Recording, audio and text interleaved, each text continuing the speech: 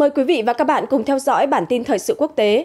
Quốc hội Mỹ hôm qua đã thông qua dự luật chi tiêu quốc phòng hàng năm với ngân sách quốc phòng kỷ lục lên tới 886 tỷ đô la Mỹ cho năm 2024, đồng thời gia hạn một hệ thống giám sát điện tử nước ngoài do các cơ quan tình báo Mỹ sử dụng. Sau khi được Thượng viện Mỹ thông qua trước đó, dự luật dài gần 3.100 trang này cũng đã được Hạ viện Mỹ thông qua với 310 phiếu thuận và 118 phiếu chống và sẽ được gửi đến Nhà Trắng để Tổng thống Joe Biden ký ban hành. Đây là một trong những đạo luật quan trọng mà Quốc hội Mỹ cần thông qua mỗi năm, cung cấp hàng tỷ đô la Mỹ cho những mục tiêu an ninh cụ thể như tăng cường khả năng gian đe và khả năng phòng thủ của Mỹ tại khu vực Ấn Độ Dương-Thái Bình Dương. Văn kiện này cũng mở rộng một chương trình hỗ trợ quân sự cho Ukraine, cho phép phân bổ dần dần 300 triệu đô la Mỹ cho Kiev. Tuy nhiên, tổng số tiền viện trợ này ít hơn nhiều so với gói viện trợ riêng rẽ trị giá 61 tỷ đô la Mỹ mà Tổng thống Mỹ và Ukraine yêu cầu. Ngoài ra, dự luật trên gia hạn thêm vài tháng một điều luật quy định về hệ thống giám sát điện tử ở nước ngoài đối với người nước ngoài sắp hết hạn, vốn bị các nhóm bảo mật chỉ trích mạnh mẽ. Dự luật cũng thông qua ngân sách tăng lương cho quân nhân thêm 5,2% đến mua sắm tàu, đạn dược và máy bay và các chính sách khác. Hôm qua, hãng thông tấn bán chính thức ISNA của Iran cho biết nước này sẽ bãi bỏ các yêu cầu về thị thực nhập cảnh đối với 33 quốc gia. Cụ thể, tại khu vực Đông Nam Á, Iran bỏ yêu cầu thị thực nhập cảnh với Việt Nam, Campuchia và Malaysia. Đối với các nước Ả Rập ở vùng vịnh, danh sách bao gồm các nước như Ả Rập Xê Út, các tiểu vương quốc Ả Rập Thống nhất UAE, Qatar và Bahrain. Bộ Du lịch Iran cho biết chính sách trên thể hiện quyết tâm của Tehran trong tiến trình bình thường hóa quan hệ song phương và tăng cường hợp tác với các nước trên thế giới. Ngoài ra, chính sách miễn thị thực này còn nhằm thu hút thêm nhiều khách du lịch quốc tế đến Iran. Theo thống kê mới nhất, lượng khách nước ngoài đến Iran đạt 4,4 triệu lượt trong 8 tháng đầu năm tài chính hiện tại của Iran, bắt đầu từ ngày 21 tháng 3, tăng 48,5% so với cùng kỳ năm ngoái.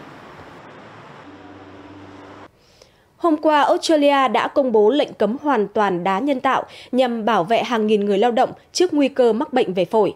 Quyết định được đưa ra sau cuộc họp của các bộ trưởng phụ trách an toàn và sức khỏe lao động liên bang và các tiểu bang của Australia. Đồng thời phải đối mặt với tình trạng bệnh tiến triển nhanh hơn và tỷ lệ tử vong cao hơn. Với màu sắc rực rỡ và nổi bật, cây trạng nguyên ngày nay được trồng phổ biến ở nhiều nơi trên thế giới. Loài thực vật này còn được xem là không thể thiếu trong nhiều lễ hội, nhất là trong mùa lễ Giáng sinh. Tại thủ đô Dublin của Ireland, nhiều vườn ươm hoa trạng nguyên đã chuẩn bị sẵn sàng phục vụ lễ Giáng sinh sắp đến. Thông tin mở đầu cụm tin vắn đáng chú ý. Cứ vào tháng 12 hàng năm, vườn cam Uniplumo lại vào mùa hoa trạng nguyên.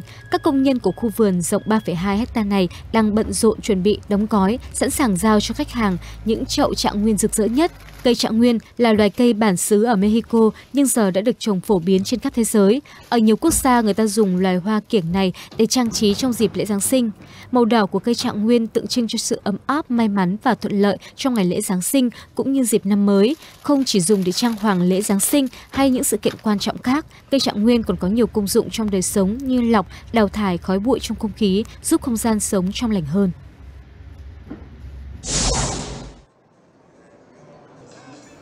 Nhằm giúp công chúng hiểu hơn về phong tục đa dạng trên khắp thế giới, một triển lãm mang tên Giáng sinh vòng quanh thế giới đang được tổ chức tại Bảo tàng Khoa học và Công nghiệp Chicago, Mỹ.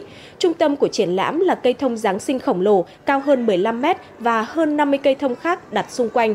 Du khách đến triển lãm ở nhiều độ tuổi, thậm chí có những người tới tham dự đều đặn hàng năm. Tất cả đều háo hức khám phá phong tục và văn hóa Giáng sinh đặc sắc. Triển lãm sẽ kéo dài đến ngày 7 tháng 1 năm 2024. Công nghệ đang mang không khí Giáng sinh đến cho những người cao tuổi tại Viện Dưỡng Lão Margareta ở thị trấn Kesnemet, miền đông Hungary. Viện Dưỡng Lão Margareta đã hợp tác với nền tảng kiến thức sáng tạo địa phương có tên Setrusnet, sử dụng thiết bị thực tế ảo để giúp những người cao tuổi được chiêm ngưỡng những hội trợ Giáng sinh trên khắp châu Âu mà không cần bước chân ra khỏi cửa. Trước tour du lịch Giáng sinh ảo dành cho người cao tuổi, thị trấn Kesnemet từng tổ chức các chuyến đi tham quan ảo các thủ đô châu Âu như Rome, Venice, Praha và Warsaw. Khu vui chơi cho trẻ em là một phần không thể thiếu trong đời sống văn hóa cộng đồng.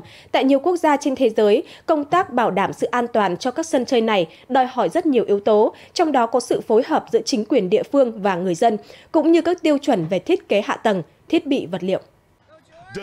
Cậu bé George 8 tuổi bị té ngã khi tham gia trò chơi leo núi ở một khu vui chơi dành cho trẻ em tại Chicago, Mỹ.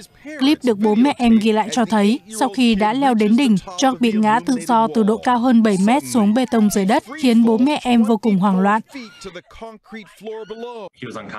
Chúng tôi chạy đến và thấy thằng bé bất tỉnh rồi. Trong đầu chúng tôi trống rỗng và thật sự rất lo sợ. May mắn thay, George vẫn sống sót, nhưng em đã bị gãy nhiều phần xương và phải trải qua ba cuộc phẫu thuật. Cậu bé đã phải ngồi xe lăn suốt 2 tháng và sau đó phải đi lại bằng nạng một cách khó khăn. Vào thời điểm Job bị ngã, em chỉ đeo mỗi dây đai lưng và không hề được gắn thêm dây thừng an toàn phía sau. Việc đó chẳng khác nào bạn đang leo núi tự do vậy. Thằng bé buông tay ra vì nghĩ nhảy xuống sẽ an toàn như mọi lần khác cháu từng chơi. Đây là chiếc dây an toàn mà cậu bé George nghĩ rằng mình đã được đeo vào người. Thế nhưng khi trèo được đến đỉnh, cậu bé buông tay nhảy xuống mà không biết rằng mình không được đeo dây an toàn và ngã xuống bê tông thay vì lớp đệm mềm như thế này. Khu vui chơi này sau đó đã bị kiện vì không tuân thủ các quy trình an toàn cơ bản khi xây dựng sân chơi cho trẻ em.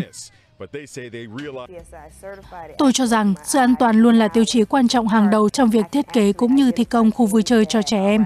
Để làm được điều này đòi hỏi tính cân bằng của các yếu tố như các thiết bị phải đạt quy chuẩn về an toàn, không gian sân chơi phải đủ các điều kiện phòng ngừa sự cố có thể xảy ra, cơ sở phải có đủ số lượng nhân viên được đào tạo đầy đủ về nguy cơ dẫn tới thương tích cho trẻ và cũng cần có sự bảo trì bảo dưỡng, kiểm tra giám sát định kỳ của cơ quan chức năng.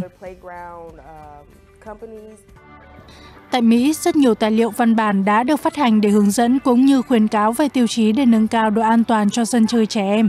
Ví dụ, Ủy ban An toàn Sản phẩm Tiêu dùng Mỹ SPSC phát hành sổ tay về an toàn sân chơi công cộng với những hướng dẫn chi tiết giúp cộng đồng địa phương, trường học, nhà quản lý xây dựng, vận hành và quản lý sân chơi cho trẻ em. Trong khi đó, tại Australia, nhiều trường học cũng đang xây dựng kế hoạch quản lý sân chơi nhằm giảm thiểu khả năng gây thương tích cho trẻ em, hướng tới không gian giáo dục kết hợp vui chơi an toàn lành mạnh. Thiết bị sân chơi được lắp đặt theo đúng thông số kỹ thuật, còn nguyên tem mác của nhà sản xuất. Sân chơi thường xuyên được kiểm tra, sửa chữa và bảo trì bởi các nhân viên đã có chứng chỉ đào tạo.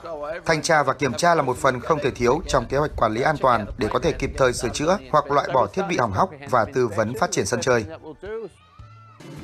Nhìn chung, đảm bảo sự an toàn cho trẻ trong các khu vui chơi không chỉ giúp các em nâng cao nhận thức về thế giới xung quanh mà còn hướng các em đến những điều mới lạ, khơi gợi hứng thú, thúc đẩy trẻ suy nghĩ, hoàn thiện quá trình phát triển về cả thể chất và tâm hồn. Triển lãm Semicon Japan lần thứ 47 đã chính thức khai mạc tại thủ đô Tokyo của Nhật Bản. Sự kiện này được xem như khởi đầu cho sự hồi sinh ngành công nghiệp chip hùng mạnh một thời của Nhật Bản, trong bối cảnh sự cạnh tranh trong lĩnh vực này đang ngày càng trở nên gay gắt. Diễn ra từ ngày 13 đến ngày 15 tháng 12 tại trung tâm Tokyo Big Sight, Semicon 2023 giới thiệu hơn 2.200 gian hàng của gần 1.000 doanh nghiệp đến từ 19 quốc gia trên thế giới. Sự kiện cũng bao gồm một số hội nghị, hội thảo, và diễn đàn hướng nghiệp cho sinh viên. Với chủ đề nắm bắt tương lai kiến tạo thời đại, Semicon 2023 giới thiệu các công nghệ liên quan tới chiếc bán dẫn tiên tiến cùng nhiều ứng dụng trong tương lai như trí tuệ nhân tạo, công nghệ 5G, 6G. Đáng chú ý Semicon 2023 lần đầu tổ chức diễn đàn phụ nữ trong kinh doanh nhằm hướng tới trao quyền cho phụ nữ trong lĩnh vực này. Semicon năm nay có sự tham dự của hơn 250 diễn giả, bao gồm giám đốc điều hành của các nhà sản xuất bán dẫn hàng đầu như Intel, Sony, Rapidus, Hitachi cùng các chuyên gia và quan chức chính phủ. Dự kiến sự kiện sẽ thu hút khoảng 70.000 khách tham quan, tăng mạnh so với 51.000 du khách hồi năm ngoái. Trong bối cảnh chính phủ Nhật Bản đang nỗ lực giành lại vị thế cường quốc bán dẫn, Semicon 2023 không chỉ là nơi quảng bá các công nghệ hàng đầu của Nhật Bản, mà còn đóng vai trò thu hút, khuyến khích đầu tư vào ngành công nghiệp này. Bản tin thời sự quốc tế của Trung tâm Truyền thông tỉnh Quảng Ninh đến đây cũng đã hết. Kính chào tạm biệt và hẹn gặp lại quý vị và các bạn trong các bản tin tiếp theo.